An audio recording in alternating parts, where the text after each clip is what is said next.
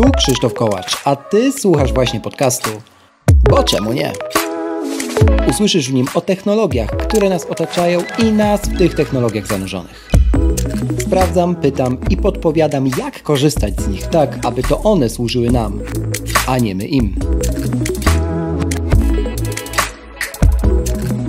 W dzisiejszym odcinku Czym różni się robusta od arabiki? Tylko tak prostym językiem. Czy kawa zawsze musi być oceniana jako dobra lub zła, czy to tak naprawdę wynik naszej perspektywy? O tym i wielu innych kawowych tematach rozmawiam z dzisiejszym gościem. Proszę, zostaw opinię na Apple Podcast lub na Spotify. Twój głos ma znaczenie. Zaczynamy! Dzień dobry, dobry wieczór, bo część z Was również pije kawę wieczorem. Ja do tej grupy nie należę, ale pora zdecydowanie na kolejny odcinek formatu przefiltrowane, formatu poświęconego kawie, nie tylko z segmentu speciality. E, moim i Waszym gościem jest dzisiaj Paweł Czerski, właściciel Gorilla Coffee, które jest również partnerem tegoż odcinka. Dzień dobry, dobry wieczór, Pawle. Dzień dobry, dobry wieczór słuchaczom. Paweł, e, skąd w ogóle pomysł na to, żeby się zająć e, kawą w życiu? To jest ponad 15 lat grubo. E, jak, jak się dowiedziałem. Opowiedz nam trochę o kulisach. Więcej niż 15 lat. Nie zawsze bezpośrednio z kawą. Na początku było trochę pośredniej e, w gastronomii. E, byłem mm, głównie barmanem, szefem baru. Finał pracy, że tak powiem, w gastronomii u kogoś był w hotelu Sheraton i to był moment, w którym stwierdziłem, że należy zrobić coś własnego, więc założyłem firmę. Firma zajmowała się eventami, później reklamą i było dość blisko związana z gastronomią. Mm. To zawsze gdzieś tam ciekawa pojawiała. No i doszedłem do takiego momentu, że już byłem zmęczony pracą w agencji. Stwierdziłem, że czas na zmiany. Stwierdziłem, że będzie nowy brand i wymyśliłem sobie, że to będzie kawa. Natomiast e, bardzo precyzyjnie zająłem się kawą w sześć już chyba lat. Nawiązałem współpracę z, z palarniami.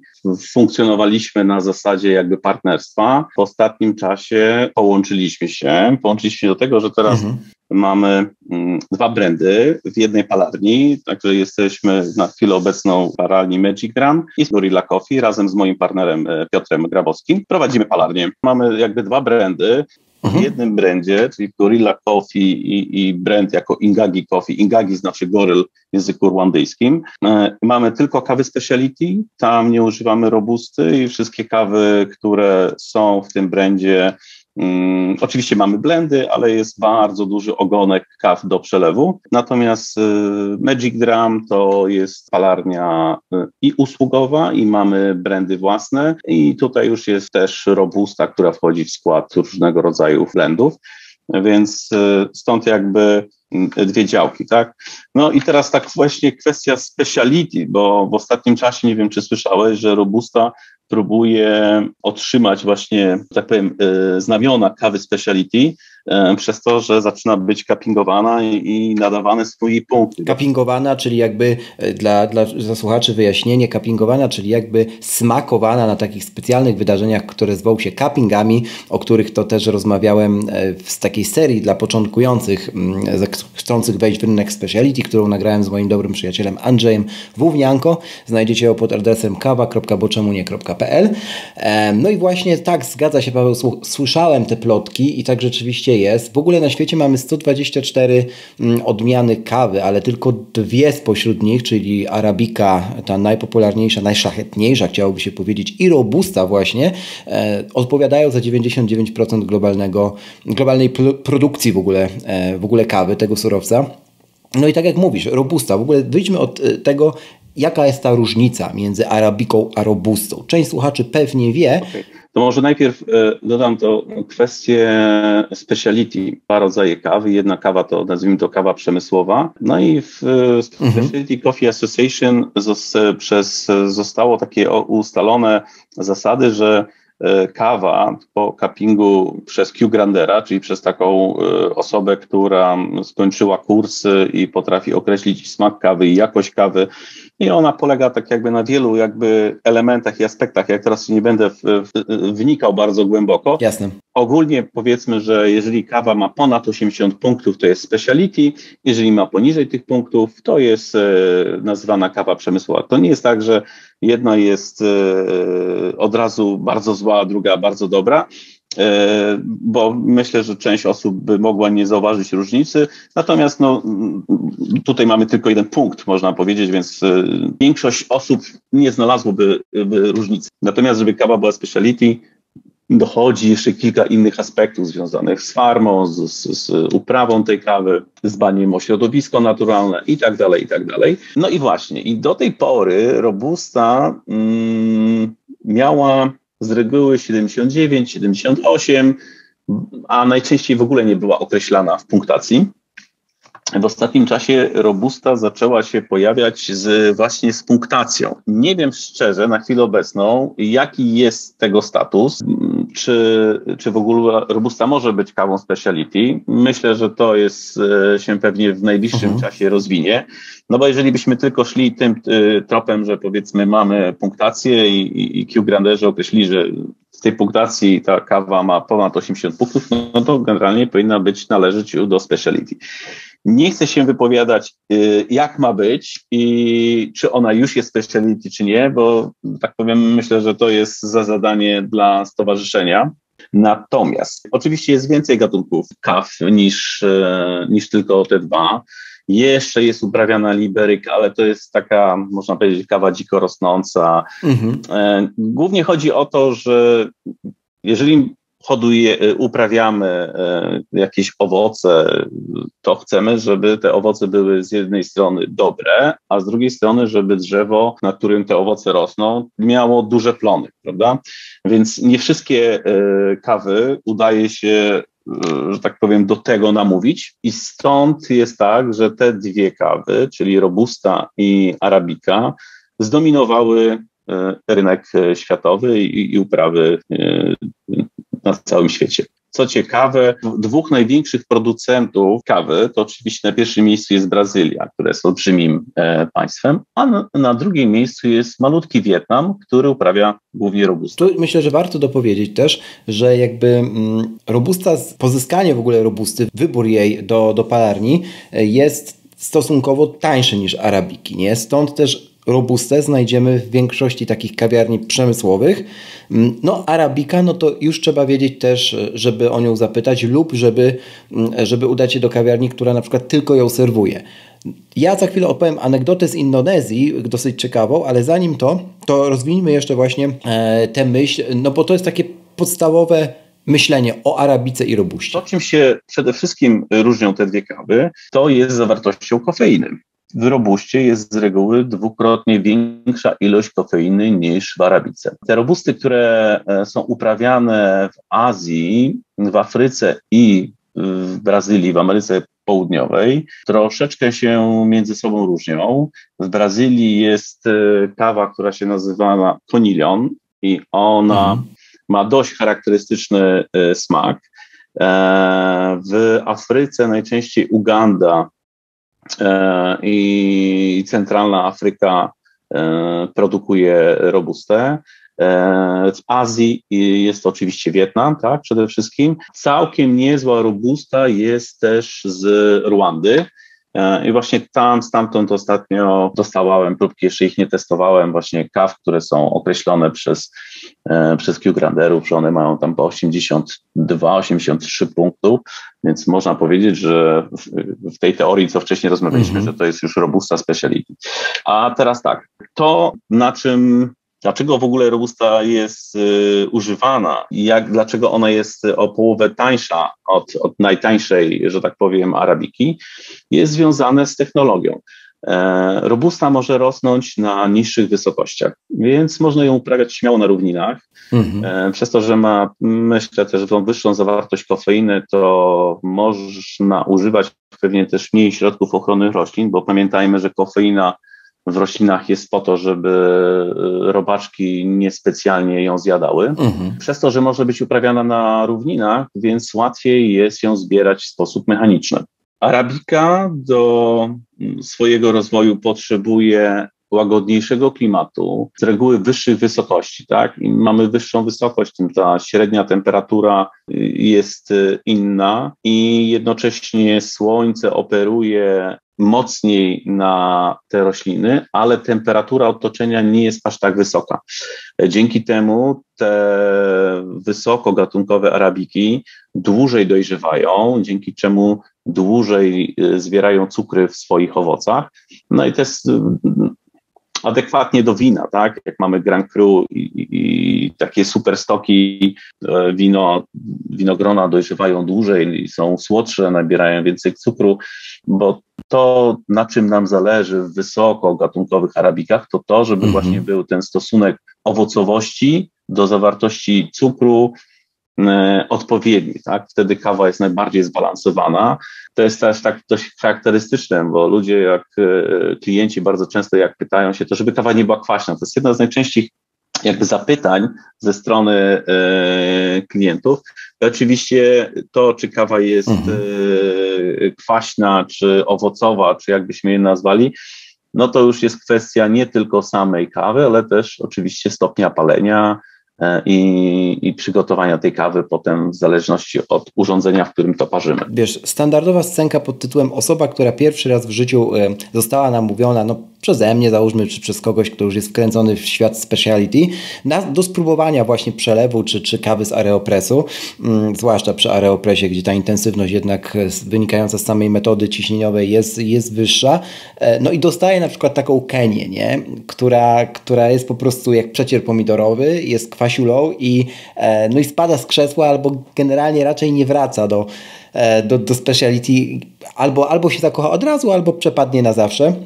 Bardzo częsta scena e, to jest i też tak sobie myślę, że mm, zwłaszcza w kontekście kawiarni, to uprzedzenie klienta, zapytanie klienta, nie wybadanie go, mm, jest też szalenie, e, szalenie istotne z punktu tak. widzenia, myślę, baristy. Tak, oczywiście. Bo temu się oczywiście, da zaradzić, nie? E, I to dlaczego na przykład większość ludzi, którzy nie jest bardzo mocno wkręcona w kawę, ale lubi kawę, tu mi o, we Włoszech są najlepsze espresso, Ta, prawda? Tak, tak. To jest też taki pewien rodzaj standard. Mi też tak się kiedyś to wydawało. We Włoszech przede wszystkim z tamtej części świata y, najważniejszy jest ekspres. Kawa mam wrażenie jest na drugim jakby etapie.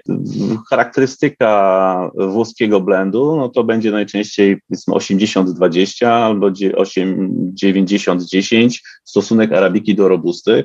Kawa jest mhm. trochę mocniej wypalona. Mm, ja to zawsze określam w ten sposób. Jeżeli ktoś ma w wyobrażeniu, bo to trzeba wrócić do wyobrażenia, kawa jako owoc, no to ma swoje z reguły, tak jak każdy owoc, jakieś kwasy i jakieś cukry. Mhm. E, jeżeli jest bardzo dojrzała, to jest e, bardziej słodka, jeżeli jest mniej, no to jest bardziej kwaśna, prawda? I teraz, jeżeli y, ten owoc zdążył dojrzeć, no to część tych cukrów przekazał swojemu ziarenku. Ziarna, e, które zostały, y, owoce, bo to czery się bardzo często mówi, albo, albo jagody na owoce kawowca, jeżeli są zebrane w odpowiednim czasie, bardzo szybko muszą być dostarczone do przetwarzania, ponieważ po zerwaniu owoca kawowca on bardzo szybko zaczyna psuć się jest bardzo delikatny. Mam wrażenie, że jest, jest chyba trudniejszy niż zbiór mhm. malin. Więc on musi być szybko dostarczony, zdjęta z niego albo owoc, albo bo są dwa, oczywiście dwa główne metody. Jeden to jest metoda e, na mokro, gdzie do takich kanałów z wodą wrzuca się te owoce, one są płukane, przechodzą przez taki e, wałki, które miażdżą owoce, e, owoce zostają Y, peski są oddzielone. E, druga rzecz jest e, w sposób naturalny, tak bardzo krótko tylko powiem, czyli owoce po zebraniu są rozsypywane na patio albo rozsypywane na takich łóżkach na siatce.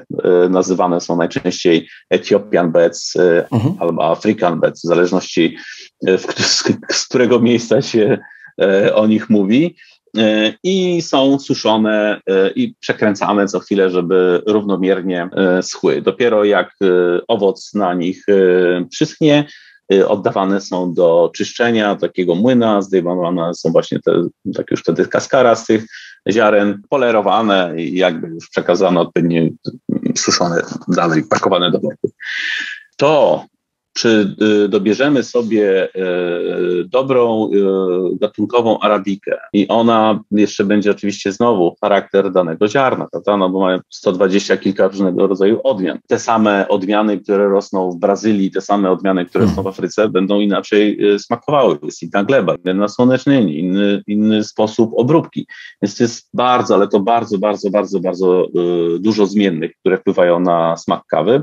Jeszcze na końcu przecież te kawy trafiają do pieca i one są w odpowiedni sposób y, obrabiane w obróbce termicznej, e, tak żeby wyciągnąć z nich jak najwięcej y, tych dobrych rzeczy, które chcemy mieć w kawie. Trzeba być uważnym, kiedy się podejmuje ocenę, dlaczego dana kawa nie smakuje tak, jakbyśmy chcieli. E, I tu dobry, myślę, jest moment na to, żeby podzielić się trochę mm, tym, na co trafiłem na jednej z indonezyjskich wysp. Przypłynęliśmy tam z e, głównej wyspy jakby Indonezji, gdzie, gdzie też e, większość czasu spędzaliśmy w Ubud. Ubud jest bardzo rozwinięty pod względem kawy, e, także kawy speciality. Mają do dobrej jakości palarnie, mają miejsca, gdzie po prostu są nazwane te miejsca speciality coffee i, i okej. Okay. Natomiast mała wysepka, której wiesz, jakby obwód ma 6 km, niecałe 7 mm, i nie ma tam ruchu samochodowego, tylko rowerowy albo skuterów elektrycznych, no jest wyspą po pierwsze dużo biedniejszą, po drugie wyspą, na którą przyjeżdża turysta, oczekując tak naprawdę trochę rajskiej plaży, łamane na dobrego e, hotelu, łamane na świętego spokoju i o, i kurczę, nie znajdzie tam dobrej kawy, nie? W sensie to jest oczywiście moja ocena, ktoś się może z tym nie zgadzać, ale rzeczywiście no byłem chyba we wszystkich kawiarniach na tej wyspie mm, i jak już się pokapowałem w pierwszym dniu, że coś mi tu nie gra, e, no i okazało się, że wszystkie one serwowały tylko i wyłącznie robustę. Nie było nawet blendów. Mm, jedna kawiarnia była w stanie zrozumieć o co, chodzi, o, czym, o co mi chodzi pytając o, o stopień arabiki do robusty, bo, czyli o blend, a reszta absolutnie nie słyszała prawdopodobnie nawet o tym.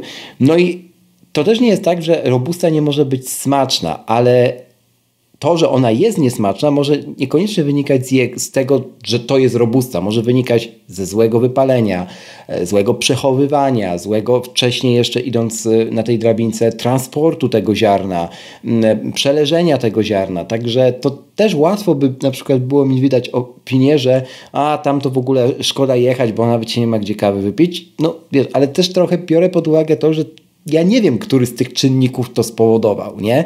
Prawdopodobnie też gdzieś na końcu kasa, no mówiąc zupełnie wprost, tam jest bieda, nie? Słuchaj, e, no mówisz o Indonezji, a ja jestem przekonany, że pewnie większość kaw, które sprzedawane są w marketach, myślę, że przodują w tym e, Niemcy i Polacy, jeżeli nie jest napisany na nich Arabika, to ma w sobie albo 100% robusty, albo ma w sobie przynajmniej 50% robusty.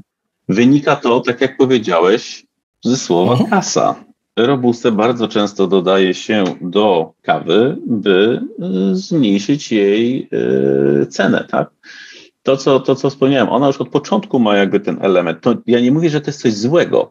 To mówię tylko, że jest to jest inna kawa, która może być uprawiana inaczej niż arabika, a dzięki temu ona będzie tańsza w uprawie. To będzie też tańsza w zakupie. Jak będzie tańsza w zakupie, to może obniżyć cenę kawy, która finalnie trafia na półkę. Tak, bardzo prosty mechanizm. Z arabiką nie zawsze jest to możliwe do zrobienia, mhm. dlatego że y, o wiele trudniej jest y, zebrać arabikę. Oczywiście są już teraz na to, wiadomo, sposoby, też jest zbierana maszynowo. To teraz zapytam o wybór kawy. Mm, jakby dobra kawa, to mówi się, że to jest wybór indywidualny, to jest nasz wybór. To, co nam smakuje, to prawdopodobnie dla nas właśnie jest e, dobrą kawą. Oczywiście to też w zależności ile spróbowaliśmy różnych rodzajów, e, no, wtedy jesteśmy w stanie dokładnie lub mniej dokładnie wyrobić sobie ten gust kawowy. Ale wiesz, większość sklepów online stara się ułatwić klientowi ten wybór. Nie? Na przykład dzieląc portfolio produktów na te podstawowe kategorie. Kawa do ekspresu, e, kawa do przelewu, do metod alternatywnych, choć z rozumieniem akurat tego ostatniego to już bywa pod górkę. I tak się zastanawiam, czy nie, nie, nie, trzeba by zacząć w tych, e, zwłaszcza działaniach online, e, podchodzić do tej sprawy inaczej. W sensie może pytać na przykład o ulubione smaki. Robi to mhm. w Stanach taka, taka firma, która wyrosła na subskrypcji kawowej, Trade Coffee się nazywa i oni sobie zbudowali algorytm, który prowadzi klienta step by step, pytając na przykład o to, czy woli szarlotkę, czy sernik w różnych takich ankietowych pytaniach i dopiero później podrzuca mu jakieś paczki, które algorytm uznał, że mogą mu, e, mogą mu smakować. Czyli skupiamy się jakby na tym, co już wiemy, co już jesteśmy w stanie w głowie gdzieś przywołać, odtworzyć e, i odpowiedzieć, a niekoniecznie na wiedzy, której no po prostu możemy e, nie mieć, no bo na przykład dopiero wchodzimy w ten świat, nie? Wiesz co, to jest tak, jeden ze sposobów. No u nas na przykład na stronie mamy, oprócz tego, że możesz wybrać państwo i to, nie wiem, stopień palenia, mhm. tak? To też jest element związany z e, rodzajem smaku. Tak? Mamy, kawę podzieliliśmy na, na powiedzmy trzy takie główne kategorie. E, one będą wynikały i z rodzaju kawy, i z rodzaju palenia. E, powiedzmy, pierwsza kategoria to będzie czekolada karmel, druga będą orzechy przyprawy i trzecia mhm. owoce, owoce cytrusy, tak? Owoce cytrusy kwiaty w jakby większej, większej przestrzeni. No i teraz Myśląc o czymś takim, czekolada karmel albo orzechy przyprawy, każdemu w głowie się otwiera, czy wolałby coś, co ma posmak powiedzmy czekoladowy, czy coś, co idzie bardziej w kierunku, prawda, orzecha. Przez to, że to nie jest takie proste, to tych sposobów, oczywiście jest, nie, to nie, nie mówię, że nie jest do zrobienia, pamiętaj, że każdy ma wyobrażenie o smaku inne niż jest w rzeczywistości, inne, tak. prawda? Nawet jak napiszemy słowo orzech. No to jeden lubi orzechy laskowe, ale nienawidzi orzechów włoskich, nie? A jeden i drugi jest orzech. Albo zna smak orzecha z batona, a drugi zna e, z masła orzechowego. To już będą dwie skrajne perspektywy. Do, dokładnie. Więc y, jest to jakiś sposób, natomiast no, ciężko mi jest odpowiedzieć, czy on jest taki, który się sprawdza, bo powinni się mhm. wypowiedzieć klienci na przykład, czy wybierając ten sposób kawę, to wybrali właśnie taka, która im y, smakuje. I to jest, to jest w ogóle świetne. Ja mam zawsze do klientów, jak się mnie pyta, która jest kawa najlepsza, ja że taka, która im najbardziej smakuje. Większość osób, większość teraz definiuje powiedzmy, nie wiem, dużą grupę i, i przeznaczamy to, to, tą skalę na słowo większość. W słowie kawa będzie widziała właśnie elementy, tak jak wspomniałem, czekolady, karmelu, zapachu kawy, takiej intensywnej, bardzo ciemnej, gęstej i tak dalej, i tak dalej, i tak dalej. I, te wszystkie rzeczy oczywiście e, można zrobić, ale to m, mamy bardzo dużo sposobów parzenia tej kawy. W Polsce oczywiście króluje e, tak jak karp po żydowsku, ryba po grecku i wszystkie jakieś inne e, rzeczy, którzy mhm. nasi sąsiedzi nigdy o tym w życiu nie słyszeli. To króluje powiedzenie kawa po turecku, którą kawą po turecku nie jest. Tak, czyli wsypanie po prostu kawy, zmielonej kawy do kubka, filiżanka i zalanie e, gorącą czy wrzącą wodą. Kawa, kawę po turecku parzy się inaczej. Mhm. Że, a wiesz, a użyj w tym momencie określenia imbryk albo coś w tym stylu i to... to już jesteś pozamiatany, bo ludzie... Masz tak nikogo. Tak, już nie będą wiedzieli o co chodzi. Więc no, po naszej stronie jest jakby element edukacyjny, no i jakby no, to, to staramy się robić. Też na naszej stronie jakby publikujemy dużo rodzajów e, informacji. Na, na blogu zwłaszcza widziałem. Tak, tak, tak, na blogu takich, takich ciekawych, związanych ze zdrowiem. Głównie opieram się zawsze o badania jakieś naukowe, tak? I, i staram się też pokazać źródła tych badań no bo każdą rzecz może sobie wymyśleć, ale jednak dobrze, jeżeli ktoś to tak. faktycznie przebadał, sprawdził jakąś grupę osób i na y, tej bazie wyprodukował y, dany artykuł czy daną informację. Bardzo fajnym odnośnikiem to jest Uniwersytet w, w Austrii, prowadzony mhm. jest przez profesora i ma chyba trzech albo czterech y, doktorantów i oni mm, piszą tylko o kawie, robią badania na temat kawy, każdy się zajmuje jakby swoją częścią, od uprawy przez przechowywanie, skończywszy na sposobach e, wypalania tej kawy, e, po to, żeby znaleźć bardziej, lepiej zrozumieć kawę, także na koniec klientom, tak, którzy no, będą mieli jakiś łatwiejszy odbiór tej kawy. Ja na przykład tak. dla mnie jest, im mam więcej informacji, tym e, oczywiście tu wchodzi głównie fizyka i chemia, w tą przestrzeń, to łatwiej mi mm. potem jest zrozumieć pewne procesy, które e, działają i o wiele łatwiej jest e, wytłumaczyć, dlaczego tak się dzieje. Tak? Samo to na przykład, że nośnikiem z, e, z reguły zapachu w kawie jest dwutlenek węgla, który jest gazem niereaktywnym.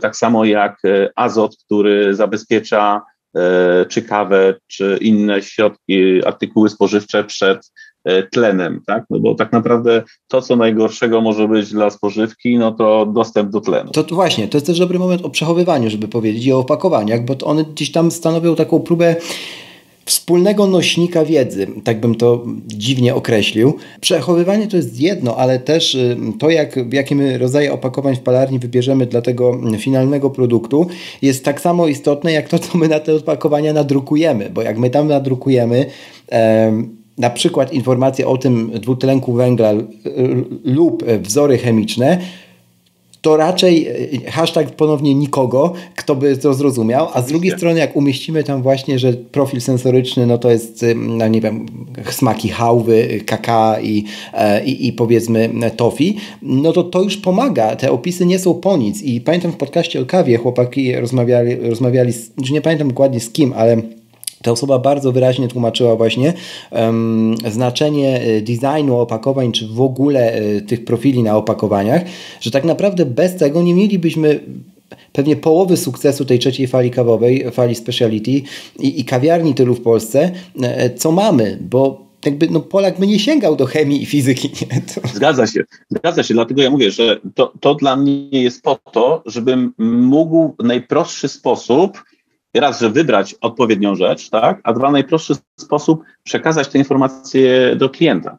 E, I, i, I, zaraz Ci na przykładzie na przykład powiem e, kwestii naszego opakowania. E, jak pewnie widziałeś, mhm. to jest jakby bardzo klasyczne opakowanie, tak bym to nazwał. Tak. Ono nie ma tam super, nie wiadomo jakich grafik e, zrobionych przez artystę, wiesz, mieszkającego w małej wiosce w dżungli, to jasne. Natomiast e, nie odbiera, nie, nie odbiera tym opakowaniom e, po pierwsze to charakteru. One nawiązują mocno do tego goryla, co widać, a z drugiej strony postawiliście tam na połączenie ikonografii, żeby też ktoś widział na przykład urządzonka, w których to może parzyć, tak. niekoniecznie znając nawet ich nazwy opisów właśnie tych, tych profili sensoricznych, ale też nie boicie się używać, co jest akurat e, szczególnie rzadkie w Polsce, wśród zwłaszcza polskich palarni, używać słowa blend. Jak mamy blend dla, dla przelewu, na przykład ja teraz sobie piję e, w Mokamasterze zaparzony od Was blend, chyba Kenii z Etiopią i z czymś jeszcze, i z Brazylią. Mhm. E, świetna w ogóle kawka, mojej żonie bardzo podeszła. Pewnie tam głównie ta Kenia robi robotę, bo ona jest psychofanką Kenii. E, natomiast e, natomiast e, no jest to słówko blend. I im częściej ono się będzie pojawiać, tym bardziej ono się będzie odmitologizowywać na zasadzie takiej, że blend to nie znaczy zawsze, że to jest kawa gorsza, przemysłowa, aka łamane na robusta, tak, tylko tak, to tak, tak. coś znaczy. To znaczy, że ktoś sobie zadał trud zmieszania kilku regionów, żeby coś uzyskać. Nie? Zgadza się. To, to wiesz doszedłem do wniosku, że, bo wcześniej blendy u nas były głównie pod kawy ciemniej palone, tak, do kawiarki, mhm. natomiast no, to jest jednak fajna zabawa. No, tak jak wspomniałem Ci na początku, zajmowałem się, yy, że tak powiem, na początku swojej kariery pracy yy, barmaństwem. Yy, to jest bardzo dużo rzeczy związanych, że tak powiem, z mieszaniem. Mieszanie, mieszanie, mieszanie, mieszanie, mieszanie, szukanie nowych smaków, nowych doznań. Chodzi o to, żeby tak naprawdę na koniec dnia, że to, to, na czym mi najbardziej na zależy, że jak widzę osobę, która próbuje naszą kawę po raz pierwszy, najczęściej jest to w wersji, e, w większej ilości wersji cappuccino, e, w mniejszej ilości przelewu, no to po prostu widzę uśmiech z reguły na jej twarzy, zaskoczenie, że kawa może tak smakować. To, to, to jest, to samo miałem, jak byłem, że tak powiem, za barem i ktoś przychodził do mnie i mówi, no zrób mi jakiegoś dobrego drinka. I to słowo dobre było bardzo niebezpiecznym słowem, no bo ja musiałem oczywiście zrobić mhm. wywiad, tak? Co dla kogoś no tak. jest dobre, a coś jest tak. niedobre. No i co ciekawe, łatwiej jest y, zrobić dobrego drinka, pytając się, czego dana osoba nie lubi, niż co dana osoba niż to lubi. Mhm. E, to taki tip dla, dla wszystkich. E, szybciej można trafić w upodobania. No bo wtedy możesz też wyjąć arsenał tego, co ty e, lubisz na przykład mieszać i w czym czujesz się dobrze mieszając. Z tego arsenału klient nie wskaże, czy osoba zamawiająca nie wskaże, że, czegoś nie lubi, no to tak. dalej masz go w pełni do dyspozycji. A jak zapytasz na odwrót, to, to ktoś ci y, narzędzia kładzie na stoliku i mówi, to teraz zrób mi z tego helikopter. To, to dokładnie tak. W każdym razie, jeżeli chodzi o kawę, to są nieograniczone jakby yy, możliwości w sensie szukania tych smaków. Mhm. Natomiast bardzo niebezpieczną rzeczą jest mówienie o czym, że coś jest najlepsze, ponieważ jest najlepsze dla danej osoby, niekoniecznie musi być najlepsze dla mnie, czy dla ciebie, czy dla innych. No wiadomo, że można zrobić konkurs, no bo trzeba jakoś tam wybrać i powiedzmy tam 10 czy 20 osób będzie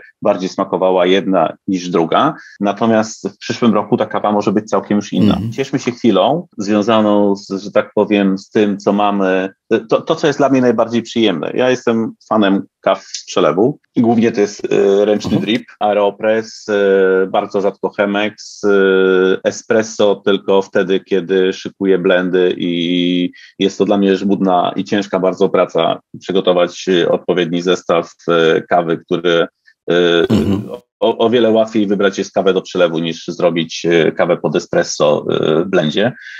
E, oczywiście, jeżeli chcemy uzyskać e, dany efekt, tak? No bo powiedzmy, są, są oczywiście jakieś tam stworzone zasady robienia dobrego espresso i, i jego się trzymajmy. Ostatnio e, byłem na takim e, wyjeździe e, z, z, były dwie osoby z Polski, bo w sumie 24 osoby.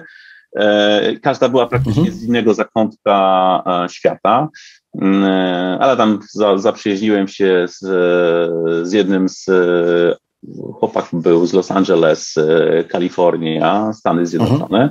I się okazało, że jak potem zaczęliśmy rozmawiać, to kupowaliśmy kawę od tego samego faceta w Brazylii. Tak mhm. samo mhm. y, przygotowujemy blendy pod espresso. Mówię o zasadzie y, ich robienia i używania y, podstawy z, z arabiki tych kaw, więc, więc spotkaliśmy się po raz pierwszy w życiu w całkiem innym jakby, jakby innych okolicznościach. Zaczęliśmy rozmawiać o, o, swoich, o swoim jakby biznesie i okazało się, że korzystaliśmy z tych samych ziaren, taki sam, tak samo procentowo y, przygotowaliśmy kawy pod, y, pod espresso. Tak, ja mam inną anegdotę z nagrywania tego, tego formatu. Kiedyś przeszedłem tutaj, akurat wtedy z kamerkami rozmawialiśmy i nagrywaliśmy przyszedłem tutaj w koszulce i w pewnym t-shircie, który przywiozłem sobie z mm, World of Coffee z Mediolanu w tym roku. Po czym mój rozmówca no, się włączył. byliśmy razem. W końcu, w końcu mój rozmówca się włączył i mówi tak: Ej, ziomek, czy ty masz koszulkę naszego dystrybutora zielonego ziarna? No widzisz, no, to, jest, to jest właśnie to, tak? Natomiast E, wracając właśnie do, do, do tego tematu, że jak no wiadomo, wejdziesz w pewien biznes i zaczynasz e, wchodzić w szczegóły, no to będziesz się otaczał groną podobnych osób, tak, które, które się znają. E, będąc tam to, to, to miejsce, w którym jakby byłem, to była Brazylia i były też mistrzostwa e, Brazylii. Dojechaliśmy też na, na takie targi, które, które się odbywały mistrzostwa Brazylii. Spotykam kolejnego jakiegoś człowieka, o którym rozmawiamy kawy i się okazuje, że no tak, oczywiście, no to, to, to jest ten, ten sam nasz znajomy i w ogóle i on tu był i rozmawiałem z nim, więc jak jesteś w jakiejś przestrzeni związanej już z danym biznesem, no on się zaczyna jednak zawężać, wiesz, o, o, o tą przestrzeń ludźmi, z którymi się pracuje. I bardzo, bardzo dobrze, że się ten rynek zmienia, wiedza kawowa też się zmienia i można by o tym jeszcze gadać godzinami. Może kiedyś zrobimy taki odcinek w ogóle o regionach, e, może to też jest jakiś, jakiś, jakiś trop. W każdym razie, gdy szukacie informacji o takiej kawie mm, speciality lub wiedzy kawowej, popartej oczywiście naukowo, e, to gorąco zapraszam do odwiedzenia gorillacoffee.pl. Tam między innymi dowiecie się też dlaczego kawa jest jak popcorn. To nie zdradzając dzisiaj, e, zachęcam, żebyście tam znaleźli artykuł o tym właśnie, bo takowy jest. I e, cóż, ja Ci Paweł bardzo dziękuję za dzisiejszą rozmowę, za tony wiedzy tak naprawdę, bo rozgadaliśmy się tutaj no, solidnie i ma, mam nadzieję, że kiedyś jeszcze wpadniesz. Z przyjemnością przyjemnością. E, życzę udanego espresso, przylewu, dobrej e, kawy, no i wybierajcie to, co Wam smakuje. Bo czemu nie?